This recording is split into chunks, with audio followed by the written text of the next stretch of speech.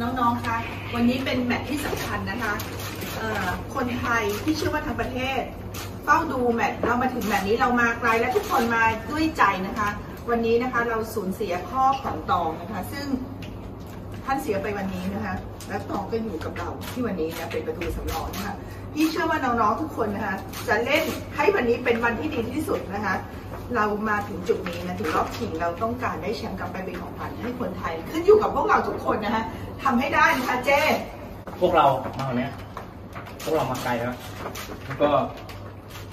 อยากจะบอกว่า พวกเราแม่งเก่งมากๆนะเว้ย